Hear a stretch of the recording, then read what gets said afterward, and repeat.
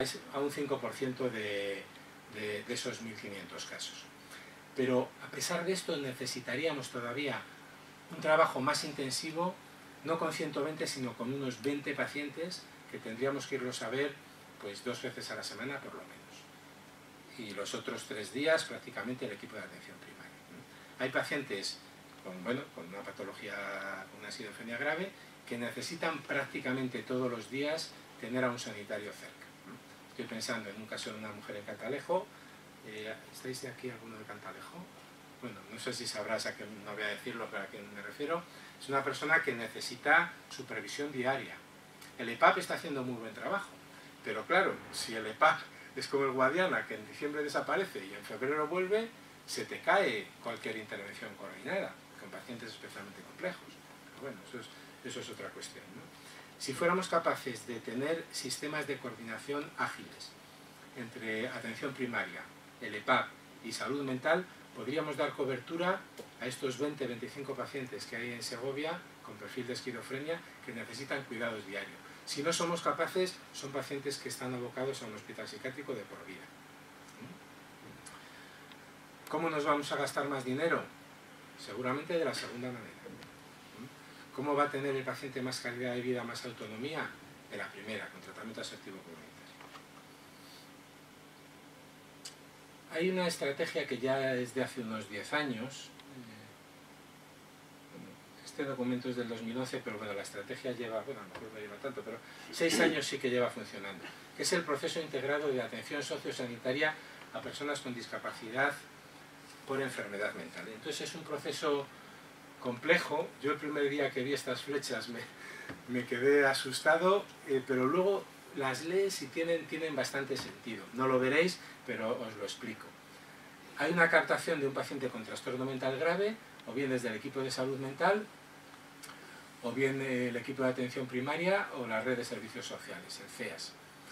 Este caso, bien si se detecta en atención primaria, por vía ordinaria se deriva a salud mental y ya empezamos a trabajar con él.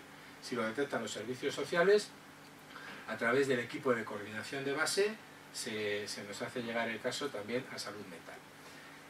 Eh, dentro de salud mental, para los casos más graves, hay una comisión de área psiquiátrica, que esto tenía sentido cuando había mucha dispersión, cuando la salud mental la llevaba el antiguo Insalud, Diputación y, y la Junta de Castilla y León.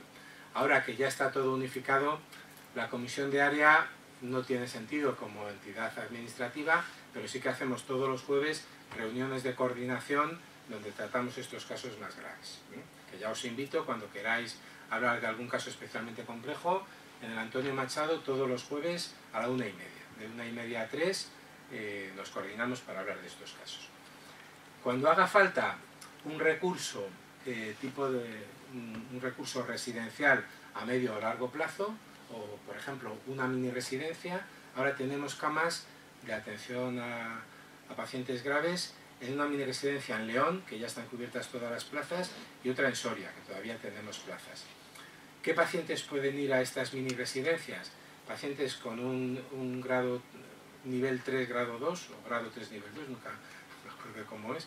Es decir, pacientes con una, con una dependencia alta y que no tengan apoyos familiares, o sea, pacientes muy defectuales y que no tengan apoyos familiares. Son los que pueden ir a las mini residencias. Los pacientes con patología activa, que necesitan mucho apoyo, pero que no llegan a un nivel 3, no pueden entrar en las mini residencias. Y no tenemos recursos institucionales para poder dar asistencia a estos pacientes. Estamos intentando recuperar, y de hecho se está recuperando, un, una relación fluida con la FUECISLA, con, con el centro de la Diputación. Y sí que están yendo algunos pacientes algunos meses a quitapesares. Bien, eh, eso se está mejorando. Pero seguimos teniendo la carencia fundamental, que es un equipo de tratamiento asertivo comunitario para evitar que los pacientes se tengan que institucionalizar.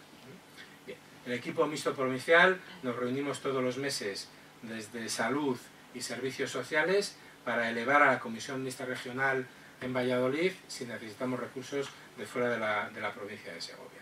Bueno, parece un esquema bastante complejo, pero luego en la práctica no lo es. Fortalezas que tiene este sistema. Hay una implicación de los servicios sociales en la atención al, al enfermo mental crónico. hay una participación de la atención primaria e inicialmente se propicia el uso de los recursos comunitarios ordinarios. Debilidades. Este, este plan está centrado en los recursos y no, en la persona, que es la principal carencia que tiene. Entonces, buscáis aquí decisión del paciente, de dónde quiere ir, y cuesta mucho, cuesta mucho encontrarlo. Es ahí. Al final, en una cajita pequeña, pone consulta al usuario. Bueno, se le consulta. No pone en el centro del sistema decisión del usuario. ¿Os das cuenta? Este, este esquema todavía no ha dado un giro hacia una atención con autonomía responsable. Hay a veces una sobreactuación de los servicios sociales, quizá todavía por falta de experiencia, a veces hacen demasiado y les tenemos que decir, vamos a, estar al quite para cuando haya problemas, pero no, no, no invadamos el espacio del paciente. Por esa falta de conocimiento experto que se está resolviendo muy bien, esto es un problema, esto es un problema de raíz, que es confundir la rehabilitación psiquiátrica con el apoyo a la dependencia. Y si el dinero lo ponemos en apoyar a la dependencia, lo estamos quitando de prevenir esa dependencia. Este proceso es más burocrático que asistencial y el liderazgo está confuso, no está claro eh, quién lidera este proceso. Pero bueno, nos vamos coordinando bien. Riesgo, un riesgo muy importante, y esto ya es política, es política. ¿eh? El riesgo, eh, a ver, con con la creación de nuevos recursos asistenciales se mueve mucho dinero, sabemos que en el tercer sector y los servicios sociales están moviendo mucho dinero, se ha creado un auténtico mercado sociosanitario. Hay empresas que legítimamente pues su negocio lo tienen en abrir camas para pacientes dependientes. Corremos el riesgo de que estas empresas se conviertan en fábricas de dependencia, como está sucediendo. Entonces, si tienes concertadas 50 camas, necesitas 50 incautos que vayan allí porque si no, no cobras. Entonces, desde el momento que hay un mercado sociosanitario, el paciente se convierte en ese carbón que mueve la maquinaria del mercado sociosanitario. Y esto tenemos que estar muy precavidos, para que el dinero vaya principalmente, en mi opinión, a, a, buenos profesionales del sistema público de salud que eviten la dependencia rehabilitando a los pacientes. Bueno, voy a, intentar no enrollarme demasiado para que pueda... ¿Queréis comentar algo hasta aquí? Sí. Varias cosas. Hablando de... ¿Hay un micrófono por ahí? Eh, no, hablo... Creo que se me oye. Sí. Vale. Hablando del tema este de sociedad y salud mental, sí. en el que más o menos estamos. El, ¿Cuál es el tanto por ciento de factor genético en la enfermedad mental? Pues mira, en la esquizofrenia entre el 60 y el 80%. Entonces me imagino, dices, que esté en una familia confortable y tranquila. Muy probablemente ese, a lo mejor joven o adulto joven esquizofrénico, resulta que es, que es que está en un entorno familiar donde al menos uno de sus progenitores es esquizofrénico. No, no necesariamente. No necesariamente, pero con alta probabilidad, por lo que estás diciendo, factor genético. y esto además está bien conocido. El riesgo eh, de tener esquizofrenia eh, en población general es en torno al 1%, 1-1,5%. Si uno de los progenitores tiene esquizofrenia, o si lo tiene un hermano, un familiar de primer, eh, de primer grado, el riesgo es aproximadamente, te hablo de memoria, del 10-12%. Si lo tienen dos familiares, el riesgo sube aproximadamente al 25%. En gemelos, el caso extremo, ¿no? En gemelos eh, monocigóticos, el riesgo es cercano al 50-55%. Te decía antes, hasta un 80%, porque bueno, luego hay otros Factores. los análisis que dicen, pero ni mucho menos eh, que un paciente tenga esquizofrenia quiere decir que sus padres lo tengan. Que compartan algunos rasgos, sí, pero claro, esos son rasgos de carácter como todos compartimos. ¿eh? Eh, que en situaciones de estrés los padres de un enfermo esquizofrénico se les vaya un poco la pinza, es decir, tengan dificultades, puede ser, más que en población general, un poquito más que en población general, pero hacer la lectura de que cómo voy a trabajar con unos padres de un enfermo psicótico si ellos a su vez no se dan a razones, no. No hago exactamente esa lectura, pero sí pinto un poquito la situación. En casos extremos puede ser, sí. Que, es más probable que se dé. Pero mira, también te digo que ahora eh, me viene a la, cabeza por lo menos tres familias que hay eh, un enfermo psicótico de cuidador de otro enfermo psicótico. Perfecto, vamos, perfecto. Sin problemas. ¿Mm? Familias con tres, cuatro enfermos bipolares en la misma familia.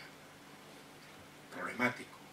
A veces uno se pone maníaco, llama al 112 y indica el ingreso de, claro, hasta que ya esta familia que estoy pensando, ya les dije, vamos a ver, aquí el ingreso lo decimos los médicos. No, claro, porque entonces se pone uno maníaco e ingresa a los otros dos. es más, a veces han llamado al 112 y el que ha acabado ingresado es el que va a llamar al 112. Bueno, son, son casos extremos que ahí sí que tendríamos que estar. Esos son de los 25 casos que tenemos en Segovia que tenemos que estar todos los días. La otra pregunta. Eh, ¿La demencia es una enfermedad mental? según que entiendas por mente. Vale, te contesto la gallega. La demencia es una enfermedad neuropsiquiátrica. Sí, es una enfermedad... A ver, es que hay, mira, hay un, un postulado y es que la enfermedad mental no existe. Yo eso lo comparto al 100%. Lo que existe son enfermedades cerebrales con manifestaciones prioritariamente mentales. Entonces, dicho así, lo que llamamos las enfermedades neuropsiquiátricas. Toda enfermedad es una enfermedad, en este campo, del cerebro. Toda enfermedad es una enfermedad del cuerpo. La mente no es más que una función del cerebro. Aquí esto hay muchos libros ahora de Damasio, el error de Descartes, por ejemplo.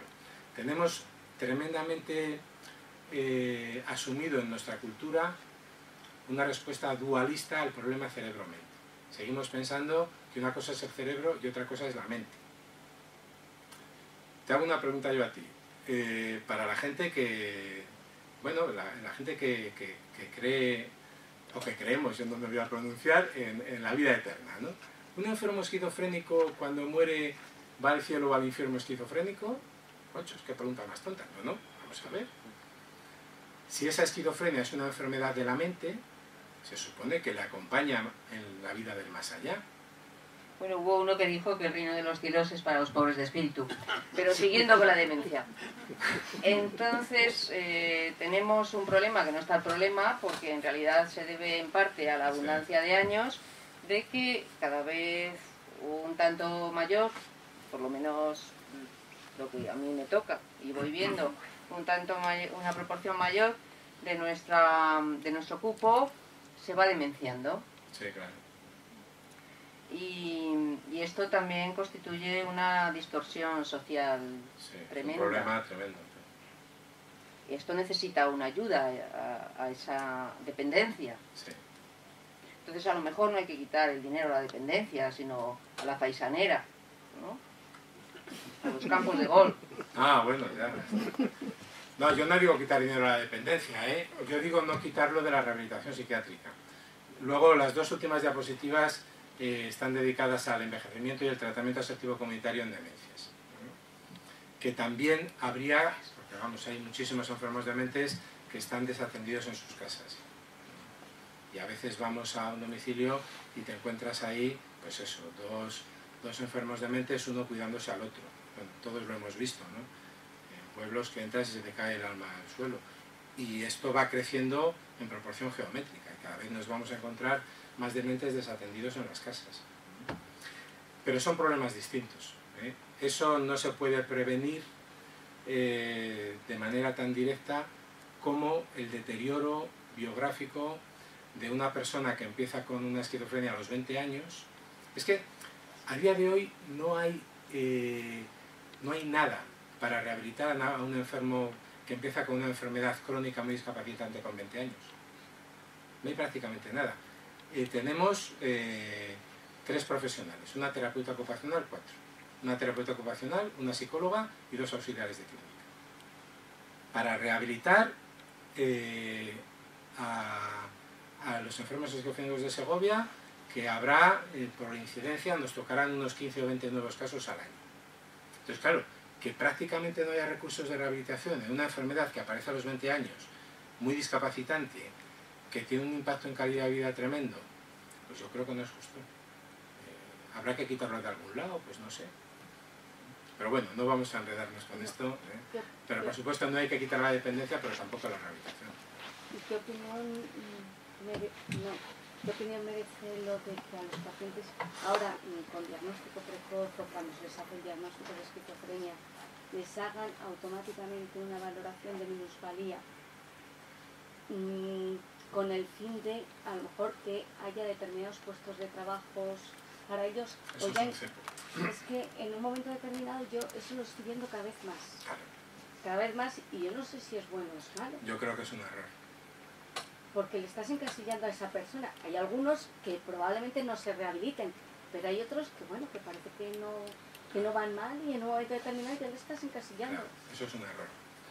Eh, y cuando hablaba de la sobreactuación de los servicios sociales, me refería eh, a esto. Claro, un chaval con un primer episodio psicótico, 20, 22 años, eh, una familia con carencia económica, como hay muchísimas a día de hoy, se enteran de que pueden tener una pensión y ¿cómo le dices tú que no? Porque tiene derecho. Y entonces, pues intentas, a mí personalmente, yo intento que, que las pensiones hasta los 30, 35 años no, porque ahí hasta los 30 y 35 años hay que intentar que ese paciente entre en una vida eh, convencional, no que se le coloque la etiqueta ya con 20 años de discapacitado. Eh, eso de que te va a ayudar a encontrar un trabajo es un cuento chino. determinadas empresas como que Es valoran muy- eso es es lo muy que difícil. la familia te viene contando Eso está en los libros, pero eso en la realidad no está. O sea, empresas que tengan sensibilidad social para integrar a enfermos con trastorno mental grave, para hacer una rehabilitación laboral real, para encaminarla hacia el mercado de trabajo. Eso es muy bonito, en los congresos de rehabilitación se habla mucho de eso, pero hay experiencias en España, 10 o 12 en toda España, que realmente estén funcionando. Eh, en Castilla y León, posiblemente alguna experiencia en Zamora o en Valladolid. 20 pacientes. 40 en todo Castilla y León que realmente eso les haya funcionado. Otros 600, por poner una cifra, les ha bloqueado una vía de, de normalización. ¿Sabes? Es un arma de doble filo, pues yo a veces pongo el ejemplo de la escayola. La escayola ayuda durante un tiempo, pero luego hay que quitarla rápido. Si les escayolamos demasiado pronto, se atrofia esas posibilidades y además el autoestigma. Yo soy un enfermo mental, yo cobro una paga. Yo voy a psiquiatría. Ese autoestigma, el paciente acaba construyendo una identidad personal de enfermo mental. Eh, y esto se ve también. Eh, me voy de excursión con los chicos, con ya su red de amistades, las personas con enfermedad mental. Las excursiones eh, con FEAFES todos juntos, no sé qué, no, no. Escápate de ahí. ¿Sabes? Eh, esto lo digo con todo respeto a FEAFES, pero escápate de ahí. Hay que intentar hacer una vida normalizada. Cuando ya todos veamos que es el momento, entonces sí. Pero hay que esperar a los 35 o 40 años. Ese es el momento. Con 20 años yo creo que es precipitarse demasiado. Claro, si la familia lo pide, no puedes decirle que no, porque es su derecho. Claro, es que tenemos derechos sociales que son elementos terapéuticos. Todos tenemos derecho a tomar un antibiótico X, pero en determinado momento no es terapéutico, es contraproducente. Ahí hay que tener cuidado. Y esto es labor de todos, de ir acompañando a la familia, ir dosificando lo que, lo que toca en cada momento. El diagnóstico, no, no nos empeñemos en poner rápido un diagnóstico, en hacer rápido un informe. Sí que conviene que rápido se vincule con el sistema. Con nosotros en primaria, con nosotros en salud mental, que esté vinculado, que nos llamemos por teléfono, que vayamos hablando. Cuando haya que hacer un informe, bien, se hace un informe, pero no burocraticemos esto que tiene muchísimos matices. Creo que sí que compartimos este enfoque. Bueno, Vamos a avanzar un poquito, dos o tres diapositivas y bueno, este es un estudio que hicimos en el Antonio Machado y vimos que el sistema actual que tenemos, que casi con seguridad la gestión de casos que hacemos en Segovia es la mejor de Castilla-León, no sirve para prevenir ingresos. Esto está publicado en, Actas Españolas de Psiquiatría, son datos recientes, eh, bueno, no sirve. Ingresan igual los pacientes que están en gestión de casos que los que no. Y esto la literatura internacional también lo ha, demostrado. A lo que se tiende es al tratamiento asertivo comunitario. Este es un estudio de eficacia, metaanálisis de eficacia, donde en metaanálisis dicen que la gestión de casos incluso ingresa y incluso aumenta el riesgo de ingresar y por el contrario el tratamiento asertivo comunitario disminuye el riesgo de ingresar. Hay un estudio prospectivo, el primero en la literatura internacional, que demuestra en un seguimiento a cinco años que el tratamiento asertivo comunitario es mejor que la rehabilitación hospitalaria. Hasta este estudio, esto es algo que se sospechaba, pero ahora está demostrado con un estudio de cohortes a cinco años. ¿eh? Disminuye, si veis eh, la barra en blanco, eh, son el número de, de días ocupando camas hospitalarias en pacientes que previamente se habían rehabilitado en un hospital. O sea, al paciente se le rehabilita, se decide se aleatoriza, se rehabilita en un hospital, se rehabilita en la comunidad. Una vez que ha pasado ese tiempo de rehabilitación, seguimiento a cinco años para, ver el número de días que han necesitado ingresar. Los que se habían rehabilitado en hospital necesitan muchos más días que los que se habían rehabilitado con un tratamiento asertivo común.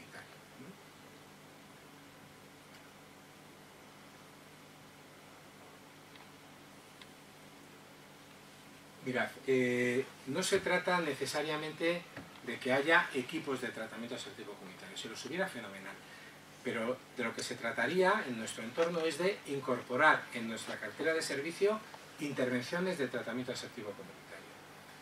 Pocos casos, es decir, bueno, esto está en cuestionamiento, pero eh, podríamos actuar en Segovia, ya os digo, sobre 35 pacientes, 40 como mucho, para que le podamos eh, desde salud mental, ir a su casa dos veces a la semana y, el resto de días, tres, días a la semana, ir desde atención primaria, por ver cómo tiene la casa, ver si ese día se ha tomado la medicación, ver qué tal está comiendo, etc. Disponibilidad, 24 horas. Antes, cuando empezaron con estos programas, eh, había incluso equipos de guardia continua, etc. No es necesario. Con cubrir en horario de mañana es suficiente un enfoque de equipo. ¿eh? Quien da el tratamiento es el equipo. Las tres, cuatro personas de referencia para ese paciente, que puede ser el médico y la enfermera de primaria, el del EPAP, el psiquiatra y la enfermera de salud mental. Cinco personas que el paciente perciba como un equipo, que se le hagan de vez en cuando visitas conjuntas, que sepan que cualquier cosa que le diga a uno mm, es como si se lo hubiera dicho a los demás. Eh, por supuesto, una supervisión cuidadosa de la medicación, garantizar que se lo toma la medicación todos los días. Algunos pacientes eh, de aquí de Segovia, eh, yo creo que hay ahora dos o tres pacientes no más, van a tomar la medicación al hospital o al centro de salud mental. La, toma de, la primera toma la toman al mediodía en el Antonio Machado y la toma de la noche van al hospital y se lo dan las enfermeras. Curiosamente, este paciente en el que estoy pensando, en su casa no se lo tomaba la clozapina, le pones. Pero yendo al hospital a tomárselo sí que va, y va todos los días, ya ha incorporado ese hábito y está funcionando. Con este paciente estamos evitando una, una institucionalización casi segura. Cuidados individualizados, in vivo, es decir, acompañamos al paciente al supermercado, venga, vamos, nos tomamos un café con él en el bar de la esquina de su casa, le acompañamos a la comunidad reuniones periódicas del equipo, lo intentamos hacer nosotros los jueves y no hay altas. ¿eh? O sea, cuando alguien entra en, tratamiento salud comunitario, no hay altas, es para toda la vida. ¿eh? El seguimiento habitual es de 5-8 años. Esta evolución yo creo que es razonable en la sanidad, vamos a olvidarnos de ladrillos y a invertir en profesionales, vamos a olvidarnos de camas y a, invertir en coches. ¿eh? Yo esto tiendo a ser un poco imprudente. En un acto público le pregunté al consejero que cuál era que cuántos coches, que cuál es el estándar de calidad de coches en salud mental en Castilla León. Y bueno, no sé, se queda así un poco... Yo creo que no le mucha gracia, pero seguro que si le pregunto por camas me lo dice. Pues hay tantas camas en Castilla León, pero ¿cuántos coches para hacer atención comunitaria? Pues mm, yo creo que no nos lo hemos planteado. Y si queremos acercar los cuidados a la comunidad, pues hombre, hacen falta coches, porque andando no vamos a ir. Eh, lo que te comentaba antes, el envejecimiento es un problema en salud mental como en la sanidad en general que tenemos que tener presente y también el tratamiento asertivo comunitario sirve para atender a las demencias. Eh, primero, para hacer un diagnóstico precoz. Eh, venir a Segovia a un paciente de Sepúlveda, anciano, que tenga los hijos lejos, es tremendamente difícil. El equipo de atención primaria está ahí pero a veces tiene dudas para hacer un diagnóstico fino de si se trata de una demencia de inicio o no. Las demencias de inicio se manifiestan eh, lo más frecuentemente con alteraciones del comportamiento, con, con sintomatología depresiva, con abulia. Cuando ya es una demencia obvia, hemos perdido cuatro años, ya el paciente está fásico, ya tiene una atrofia en la neuroimagen, no tiene mucho sentido. Vamos a intentar hacer un diagnóstico precoz de la demencia para poder poner los tratamientos que tienen un efecto moderado, pero lo tienen. Y es interesante ponerlos en ese nivel cuando el paciente está con un GDS 3, 4, cuando ya está con un GDS 5, cuando ya está prácticamente afásico, poco vamos a poder hacer. Si hacemos un diagnóstico precoz y una intervención precoz, evitaremos los problemas de conducta, disminuirán los problemas de conducta asociados a las demencias, que como sabemos es el principal problema de las demencias, porque la pérdida de función cognitiva bien, pero no es lo que hace sufrir al paciente ni lo que hace sufrir a la familia. Lo que les hace sufrir es eh, las alteraciones de conducta. Entonces vamos a evitar que el enfermo anciano demente, sobre todo en el medio rural, le metamos en un laberinto en el que es incapaz de entrar y de salir y vamos a ponérselo fácil para que el proceso asistencial eh, dé frutos. Y si para eso nos tenemos que desplazar, eh, desde especializada a la primaria para hacer diagnósticos precoces, yo creo que eso sería algo por lo que luchar en la cartera de servicios. Bueno, pues nada, ya con esto termino, con estas propuestas. Os animo a que entréis en internet, quizá algunos ya lo conocéis, eh, veáis Modelo Avilés, busquéis el tráiler de la película Desconectados. Es una película que se, se presentó en la Semici en Valladolid hace ya cuatro o cinco años, bueno, estuvo aquí, se ha proyectado aquí en esta sala, vino Juanjo Jambrina, que es el psiquiatra que montó la película, eh, como documental cinematográfico es muy interesante, pero sobre todo como instrumento para saber lo que es el tratamiento sensitivo comunitario, dura 40 o 50 minutos y ahí se ve lo que hacen en Avilés, que es el equipo más, con más experiencia en España en tratamiento aséptico comunitario y si queréis comentar algo por correo, ahí tenéis mi correo y ahora pues yo creo que sí que hay unos minutillos para algún otro comentario, puntos de vista distintos,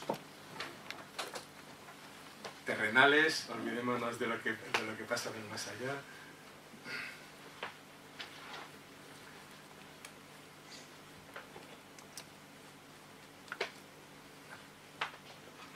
Nada, muchas gracias por